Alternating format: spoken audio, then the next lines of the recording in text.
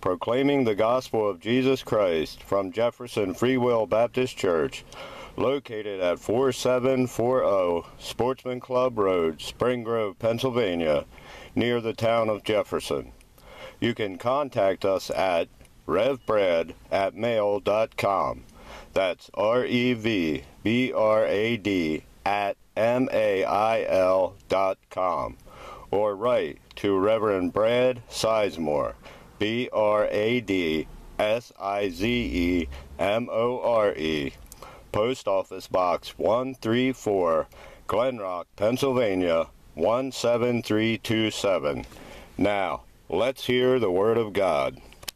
You know, there are those of us sitting here, and God will say to do this, and God will say to do that. Well, I can't do that. I'm too comfortable here. That's too hard. I'm in a place. God, would you really get me to get up and leave all of this and go out there into who knows what and face who knows what? God, you wouldn't really do that now, would you? That must be the devil trying to trick me. That must just be my idea. So I'm not going to do it because I know that God would not do that. That's what a lot of us do. We hear the voice of God and we begin to put it off on something else. We begin to put it off on somebody else. We make excuses not to do what God has told us to do. We think, well, if it's not all comfortable and every door isn't already open and the way isn't already paved, it can't be God. But most of the time it is God. Come on. I, look at Abraham again.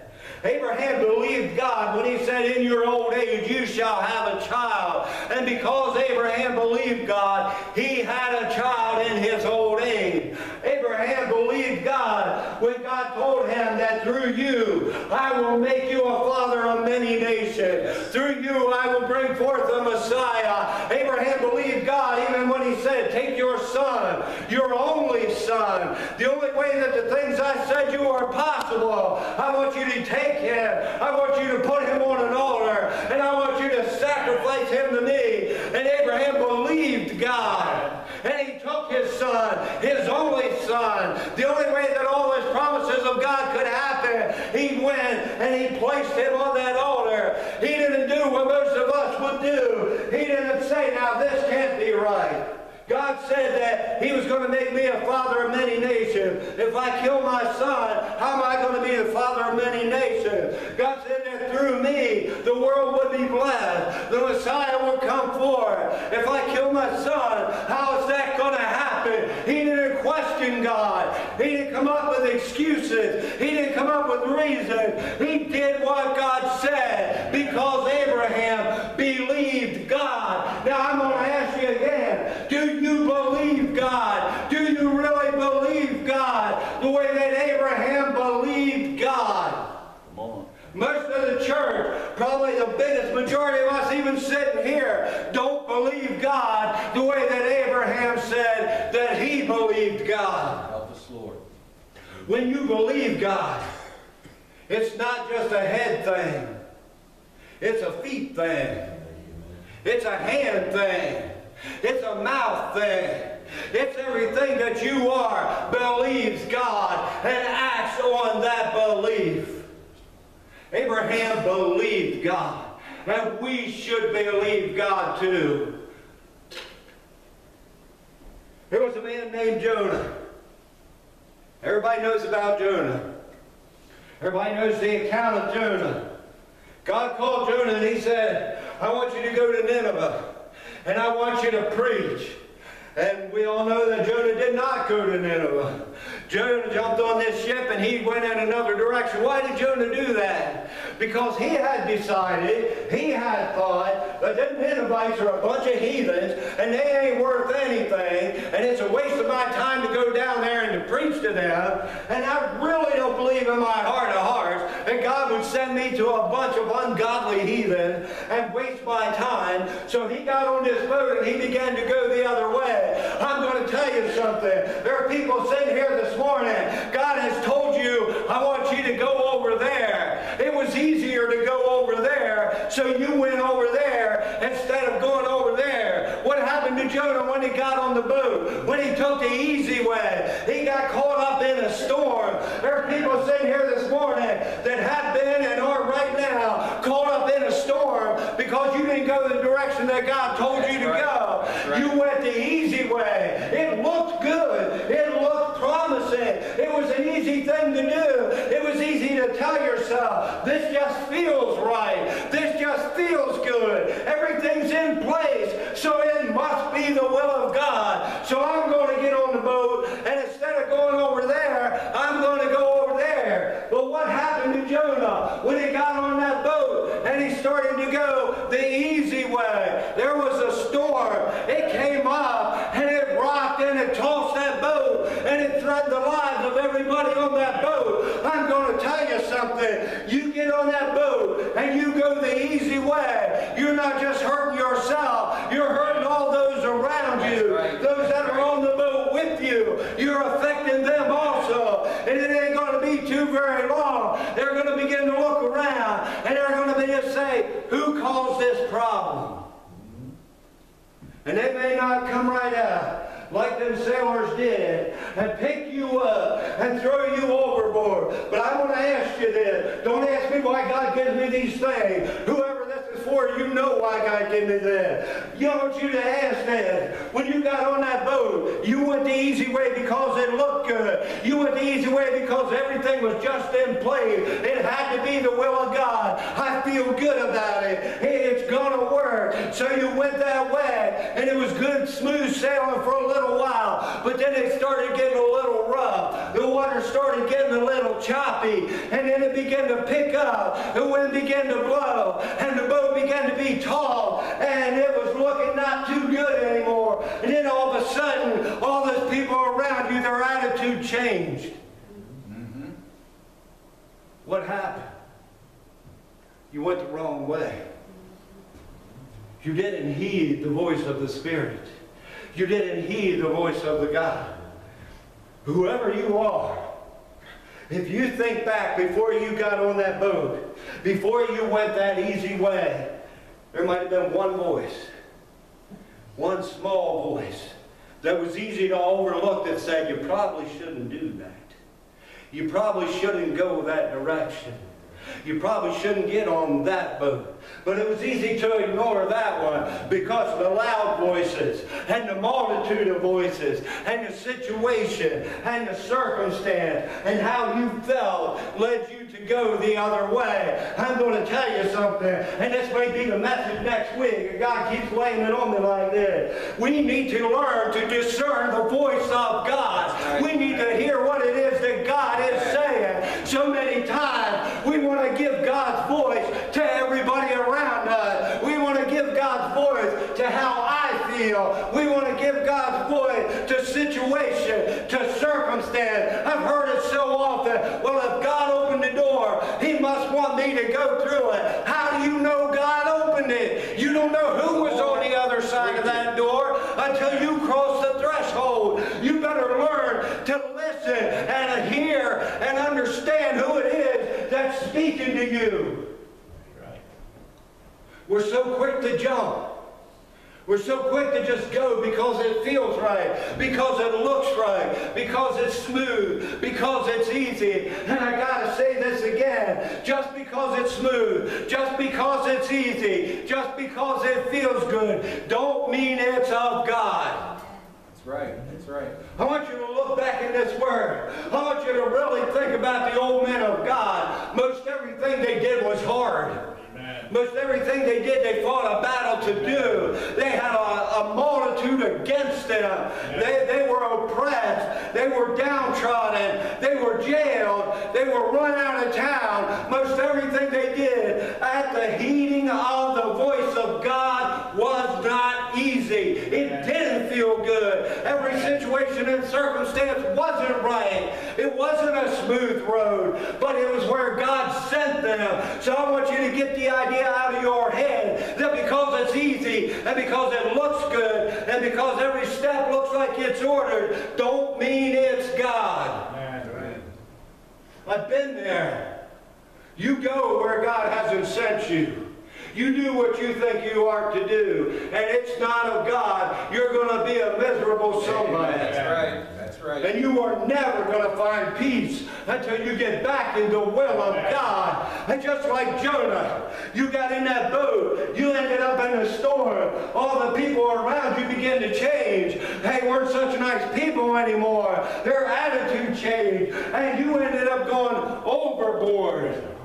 Come on. And here you are now. You're in the belly of a whale. Not a very nice place to be. It's not a comfortable place to be. Stinks. Literally and figuratively, it stinks. But you know what? In there, there's no distractions. Mm-hmm. You can begin to think. Amen. You begin to listen. You can begin to remember. You remember when Jonah was in that whale, what did he do? He turned his face to God. And he began to cry out to God. He remembered from whence he had come. He remembered who it was who was in charge, who it was that was given the directions. And he prayed. He poured his heart out to God. Now let me ask you something. Had the storm not come and he stayed on the boat and he made it to where he was going, do you think he would have done that? I don't think so. Sometimes God has got to rock your world. Amen. Sometimes God has got to rock your boat. Amen. Sometimes He's got to pitch you overboard, let you end up in the stinking place so that you stop and realize who it is that is in control, who it is that is in charge, who it is that directs your path, who it is that has determined where you are to be and what you are to do. We got to remember. I got to say this again. It is so easy. It- it is just so easy when everything looks nice to say that's got to be of God. Get that out of your head. Come on. I'm going to tell you something. In this world, you will have tribulation. If you're serving God, if you're in His will, if you're really doing what He wants you to do, going where He wants you to go, being what He wants you to be, it ain't going to be an easy thing. That's right. It's going to be a little rough. Jonah got tossed overboard because he went to the wrong place. He went in the wrong direction. And he got caught in a storm. And if you do that, you go the wrong place, you go the wrong direction. I don't care how many multitudes told you it was right. I don't care how good it felt. I don't care if it looked like it was just set up perfect for you to go there. If you went where God didn't say to go, you're going to end up in a storm. The attitude of those around you is going to change. You're going overboard. You're going to end up in the stinking place. And once you realize that, and you turn your heart to God, and you begin to cry out to God, and you begin to plead with God, He may deliver you like He delivered Jonah. Jonah was dwarfed up on that land, back up on that shore. He was out of that stinking place. Now here he was, and he had a decision to make again. He was between this and this. Now what's he going to do? He decided he would go ahead and do what God told him to do. And he went, to Nineveh, and he preached to them, and he didn't like it. He didn't want to do it. He, he wanted them Ninevites to be destroyed, but he did what God told him to do. And because he did, Nineveh was saved. Uh, I don't remember the number. Thousands upon thousands of people were saved because he did what God told him to do. You may not like what God wants you to do. You may not be on board with it. It may not be what you think it ought to be. You might not be going and doing what you think your calling was, or what you think you are suited to, or what you think your talent is. But if you follow God, there will be a good result. There will be something that will happen. Just like Jonah went ahead and did it, and Nineveh was saved. Even though he didn't want to do it, he didn't like doing it, he did it, and Nineveh was saved. Even if you don't think that's what you want to do, that's what you're suited you want to be, if it's where God said go, if it's what God said do, God will reap a benefit from it. Amen. and Amen. We have to learn to discern. We've got to understand the voice of God. We've got to know who it is that is speaking to us and who it is that is directing us. And as I said, I don't think a lot of Christians do. I really don't. I've heard so many say. I've been there myself. Well, everything just fell right in place. It's got to be God. Well, the door just opened. It's got to be God. This is something I wanted to do. Here all of a sudden this person comes and says to me, why don't you do this? It's got to be God. No, it don't. It don't. You better make sure it's God. And I'm going to say it again. A lot of time, when it is of God, it ain't easy. It's a hard thing. It's not really what you wanted to do. It's not really where you wanted to go. It's not the job that you wanted. It's not easy a lot of time. But it is what God wants. And if we do that, if we are obedient, if we follow the voice, the leading, the will of God, there will be a benefit. And I can tell you from my own experience, even when I've stepped out and I've done what I didn't want to do, I would rather have been doing something else, but I knew God wanted me to do this. And when I stepped out and I did it, even though I didn't want to do it, things began to happen. God began to work. God began to move. And it wasn't too very long that I was extremely glad I had done what God wanted me to do. And I began to be blessed by it. And I began to be encouraged by it. And I began to be happy that I finally was obedient to the will of God. Even though I had to get out of that stinky place first. Even though I had to go through all that other stuff. Once I finally listened to God, it was a good thing for me. It was a good thing for those around me. It was a good thing for the kingdom of God. We must be and do what God says or it will not accomplish anything. It will be a detriment. It will hinder the work of God. It will not benefit the work of God. It's that old saying, everything that glitters is not gold. That's right. That's right. It might be shiny and it might look good and it might feel good at the moment and may seem like everything's just perfect and in place until you get there. Then it's a whole other story. Mm-hmm. And I gotta say this again. If you've been in that situation or maybe you're in it now, I want you to think back. I really want you to think back. There was a point where there was at least one voice that said, don't do it. Don't do it. Don't go that direction. But we just, ten voices are saying, do it. The door is open. The path is laid. They've strewn roses for me to walk on. It's so easy and comfortable, it has to be of God. And you got this one voice behind you saying, don't do it. What do they know?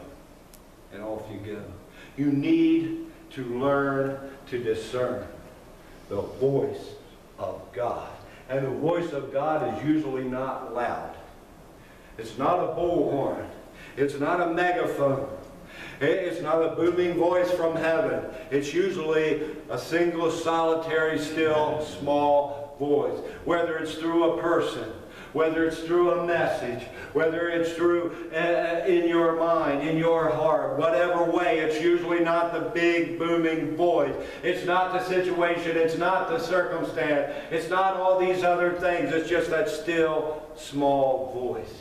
I want you to go in your Bible and you find it and you show it to me where God led anybody through situation and circumstance. You go back and you look at the old prophets and show me one that God led through situation and circumstance. He spoke to them. He directed them. He guided them. And they listened. If they would have listened to the majority, if they would have went the way that looked good and felt good and looked easy and they were convinced would work, they wouldn't have done what God had them to do. I want you to listen to something. The book of Acts, chapter 21. I'm going to jump around here. This is Paul. It's talking about when Paul came and he was having some issues. He had all of this problems, and then he was getting ready to go on. and, and continue his journey. And you read this when you get the chance. There's just a couple of things I want to bring out. In the book of Acts 21, verse 10, as we tarried there many days, there came down from Judea a certain prophet named Agabus. I want you to notice this first. God sent a man of God to Paul. It said this man was a prophet, and God sent him down from Judea. And when he was come unto us, he took Paul's girdle and bound his own hands and feet and said, Thus saith the Holy Ghost, So thou the Jews at Jerusalem bind the man that owneth this girdle, and shall deliver him into the hands of the Gentiles. God sent a man. This was a man of God. This was a man that they knew was a man of God that was speaking the man for God eh, eh, and had been given a message by God. And what did this man say? He said, Thus saith the Holy Ghost. And that's the voice that we need to listen to. God sent the message. God sent the man to Paul. And that man came and he spoke in the power and in the anointing and in the authority of the Holy Ghost and said, This is what the Holy Ghost said. That's where you need to get your direction from. You listen to what is sent from God, by God, through whoever He chooses, through a man of God, in the power of the Holy Spirit. And You listen to that message and listen to what He has to say. And listen to what He said. Thus saith the Holy Ghost. And He told him, the owner of this girdle is going to be bound and delivered. And when we heard these things, both we and they of that place besought him not to Jerusalem. The message came from God to Paul and said to him, Paul, you're going to be bound by the people where you're going. You're going to be bound and you're going to be delivered up and you're going to be jailed and all these terrible things are going to happen to you. And what did the church say? Don't do it. Don't do it. Stay here. God wouldn't have you do that. God wouldn't have you go into something like that. Nice for that. You stay here where it's comfortable. We all love you and we all care about you and we want to get squishy-wushy with you. You just stay here where we're at. Don't go up. Don't listen to him. I'm telling you something. You better heed the voice of the Spirit. You better heed the voice of God. I don't care how good it feels here. It's not going to feel good for very long if you're disobedient to God. That's right. That's right. You better heed the voice of the man of God who comes in the power of the Spirit and speaks the word of God, and you better do what he says to do, no matter how bad it sounds, no matter how rough it sounds. You better do what God says to do. But so many of us are so quick we and they of that place besought him not to go. We began to listen. There was one man that said to go. But he said, we and the people of that place there was a multitude that said, don't do it. Don't go, Paul. You need to stay here. God wouldn't have you go here. God wants you here. God wouldn't have you go through all that. God wants you to have it good and easy and nice. You better just stay here. And so quick, we will listen to that. When one voice says no, and billions or thousands or hundreds or even ten say, no, don't do that, do this. We're so quick to listen to that. We've got it stuck in our head somewhere that it has to be of God if it's nice. It has to be of God if it's comfortable. It has to be of God if it's good. It has to be of God if the multitude says so. It's usually not that way. It's usually the other way around.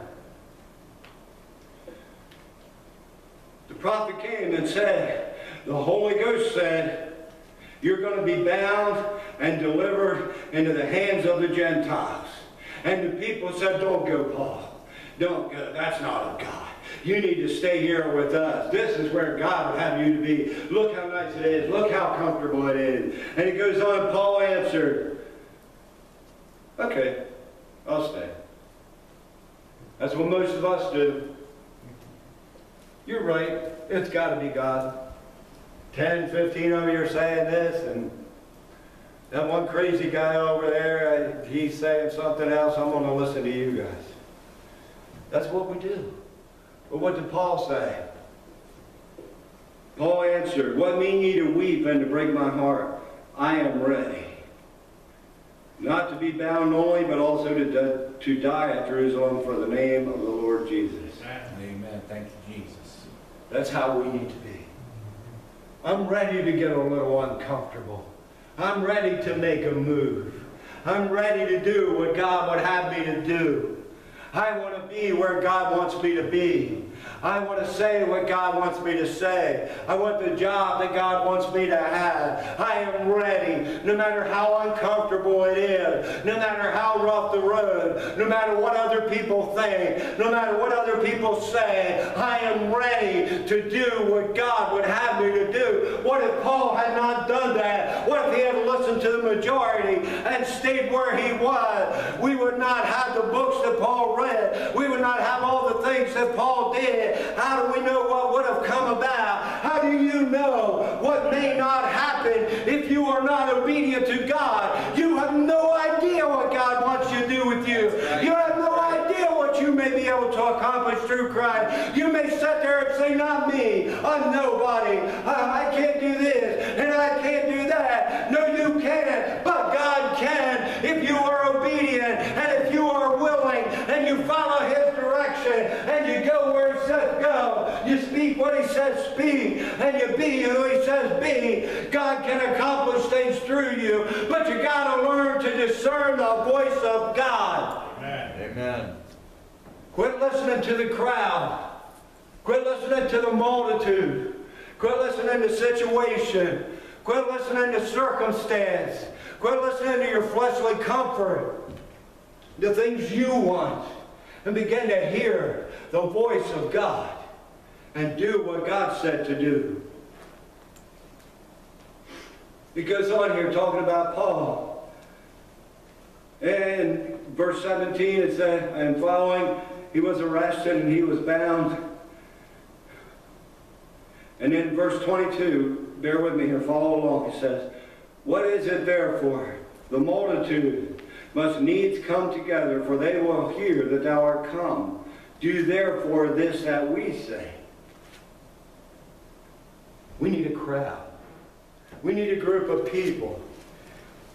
The multitude must come together. We must get some people together. And in order to do that, you got to do what we say. You got to act how we act. You got to be where we say to be. You got to speak what we say to be. And we are so quick to do that, so quick to follow that, so quick to listen to that. Just because they're church people, just because they're Christian, don't mean they're directing you in the right direction. Don't mean they're pointing you to where God wants to point you. The only way you're ever going to be sure, the only way you're ever going to be guaranteed is if you listen to that voice of God, if you listen to that Holy Spirit that is telling you where to go and what to do. What did they want Paul to do? Listen to this. Do therefore this that, that we say. We have four men which have a vow on them. Take and purify thyself with them and go through this ritual with them. You got to do it our way. It's not going to work any other way. We want the crowd to see that you're on board with us. We want the crowd to see that you're just like us. So here's what we want you to do. We want you to start doing things our way. That's what they want Paul to do. And we got these four guys that are going to go through this ritual. You go through it with them, then everybody think you're on board. Everybody will think you're one of us. And, and listen, even Paul fell into that. He goes on and he says, Then Paul took the men, and the next day, purifying himself with them, entered into the temple. He got on board with it. He went ahead and did what they did. He went ahead and followed their direction. And a lot of times we will do that when the church, when the other Christian, when the crowd is saying, Come on, get on board. We got to do it this way. You got to make sure they know you're part of us. You got to follow it the way that we say to follow it. And we will do that. Even Paul did that. But listen to what happened. In verse 27, when they saw him in the temple, stirred up all the people and they laid hands on him. It didn't work out the way they intended. Not what they wanted to happen happened. They thought if Paul did it their way, if he followed their direction, then all the multitude would be happy. All the multitude would be on board. Everything would be good. But it just the opposite. When they saw Paul do it, what did they do? They got stirred up. They got upset. They got angry. And they laid hands on him. And I'm going to tell you something. If you begin to do things just because the church does things, just because that pastor does things, just because the crowd says do it this way, if you begin to do them that way, it ain't going to be too very long. Somebody's going to lay hands on you.